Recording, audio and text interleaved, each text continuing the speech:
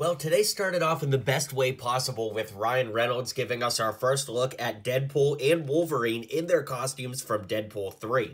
So it's only right that we explore how to make both of these figures in LEGO form.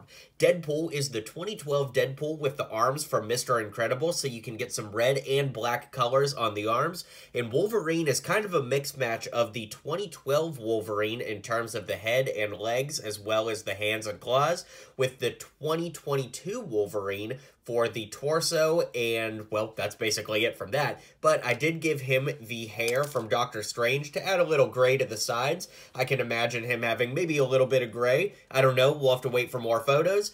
The shoulder piece comes from the Taser figure from LEGO Avengers, the Iron Man armor, and then of course I gave him some yellow arms to match to complete the look.